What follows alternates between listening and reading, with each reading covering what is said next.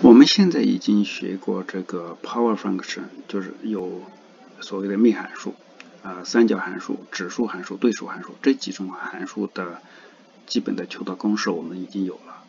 呃，但是我们还差一种，就是反三角函数的它的导数的求导公式。那这里我们先学一下这个反函数的求导公式。我们给出一般的反函数的求导公式，然后我们再推导反三角函数的它的求导公式。那么，呃，如果说 y 它是一个 f(x) 的反函数，那么我们 y 关于 x 的导数到底等于多少？当然，这个是，嗯，我们。要求我们要求它的呃这个公式，我们可以用这个啊隐函数的求导法来推导出它的公式，当然也可以直接去用代数的方式去求。呃，我们首先的要求是 f(x) 它是 one to one，也就是说我们嗯有 one to one 我们才可以是呃才可以定义它的反函数嘛。我们也要求它是一个可微的。那么我们，嗯，y 是 f 负一 x，那我们去推导它的，呃，推导它的公式，推导它的求导公式。那么 y 等于 f 负一 x，也就是说 f y 是等于 x，f y 是等于 x。那么两边关于 x 求导。两边关于 x 求导，呃，differential 呃 with respect to x，那我们得到了是什么呢？f 关于 y 的导数，再乘上 dy dx，这是等于一。那么也就是说，dy dx 这是等于一除以 f 关于 y 的导数。要注意，这里是 y 的值啊，这是 y 的值。当然，我们也可以把它换回到 x，这是一，注意，这是 f 关于关于 f 负一 x 它的导数。如果要具体要要要注意的是，这里面的值一定是 y 的值，因为 y 是等于 f 负一 x。如果说要求具体的这个。要求具体的这个呃值的话，那我们是这个样子，或者说是在具体的哪一个点来求，嗯，dy 或者说是嗯 dy dx 在 x 等于 a 的话，它是等于一除以 f 关于导数，这是 f 负一 a，那是就是 f 负一 a，就是你把这里的值。把 a 带到这里面去呢，然后去求 y，但是很多时候它只是给出 f(x)，那我们怎么样去求？这是在求具体在某一个点处求值的时候，我们要特别的注意。那我们来看一个例题，呃，我们如果说 f(x) 它是等于 2x 加上 cosx，我们 find f 负一，嗯，它这个导数在一处取值。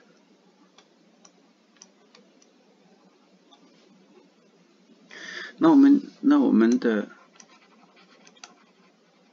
我们我们知道这个反函数的导数是反函数的导数是原来的函数的倒数，但是这个里面的取值是 y 的取值。所以我们看，我们先把 f(x) 的导数求出来，这是等于二减上三 x。那么我们看到，嗯，如如果是，嗯，那我们说 f 负一 x 这个的导数，我们知道是一除以，这是 f 关于 y 的导数是等于一除以。那么这是二减上三一 y 啊，呃，要记得这是二减上三一 y。那么这里取值，当我们要取值，这里是一，我们这是不是可以直接用一呢？那就不是啊。这里的取值，这个一是 x 的值，啊，这里分母这是 y 的值，这个是我们尤其要注意的。那我们看到 f 负一，好，如果 y 是等于 f 负一一，那也就是说。f(y) 要等于一，那我们 f(y) 是这是等于二，x 加上 cos x 这里。那么我们我们回过头去问 y 的值是等于多少？那我们 y 的值，那我们也就是说，嗯，我们这里。我们要 f(y) 是等于一，呃，f(y) 等于一。我们看 x 等，也就是说 x 等于多少的时候，x 等于多少的时候，这个 f(x) 等于一。也就是说，也就是说，呃，2y 加上 cos y 要等于一，那我们只能得到 y 是等于零。就那我们就带到这里面去，所以说，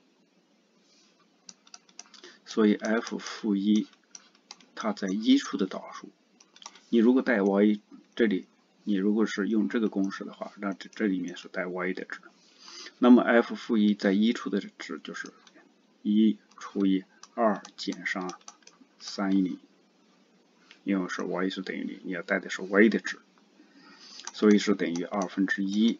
这是要尤其要注意的，这在讲反函数的导数的时候，我们是呃，这个是要尤其注意的。好，我们看一下，嗯，第二个例题，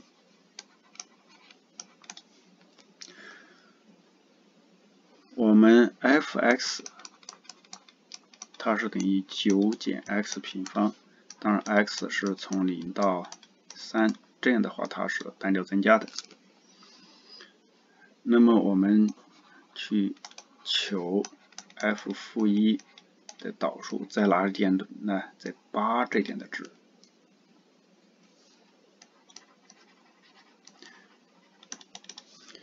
啊，这个反函数的求法，这一种的求法在 AP Calculus 里面倒是经常有。嗯，在大学的 calculus 里面也会也会呃出一些呃平常的计算题，倒是比较呃倒是比较常见。好，我们先看 f(x) 的导数是等于多少呢？就是负 2x。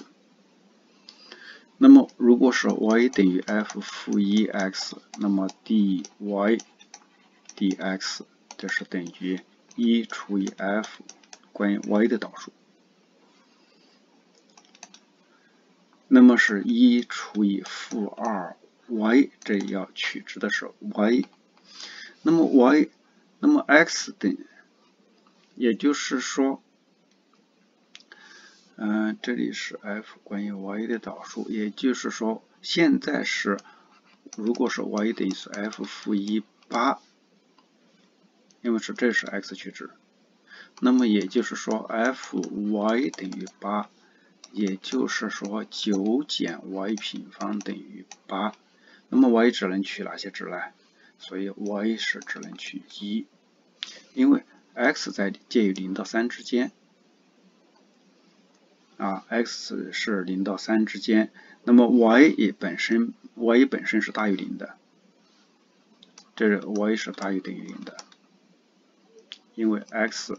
x 介于零到三之间，y 永远是大于等于零，所以 y 等于一，y 等于一，所以我们得到的 dy dx 在 x，嗯，在 x 等于八的时候，我们是等于负的二乘上一分之一，所以是等于负二分之一。这是反函数求导法，它。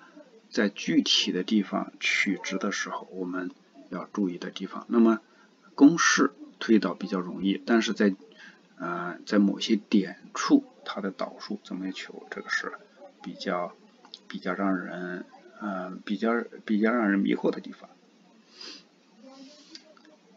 好，那这里我们嗯一般的反函数求导，我我们要注意的就是这些地方。啊，我们看一个稍微复杂一点的啊。如果 f(x) 等于 x 的五次方减 x 的三次方加上 2x，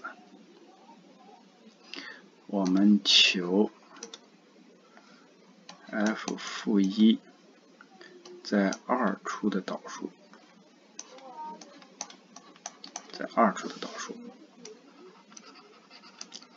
一样的，我们先把 f(x) 的导数求出来，然后把 y 的值取出来。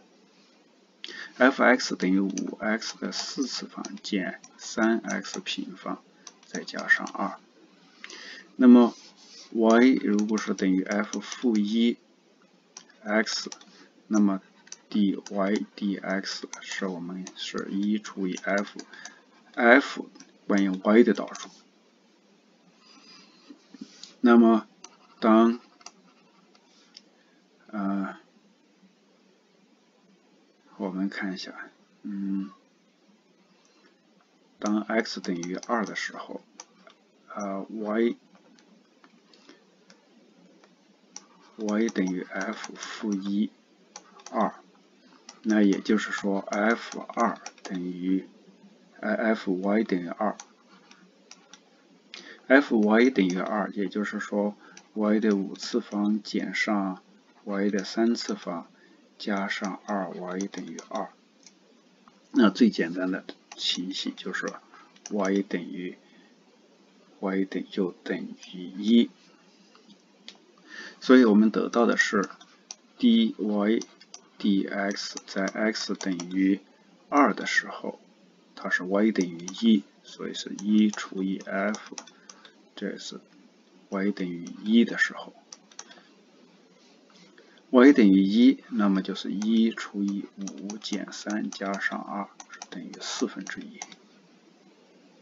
这就是我们反函数的求导法。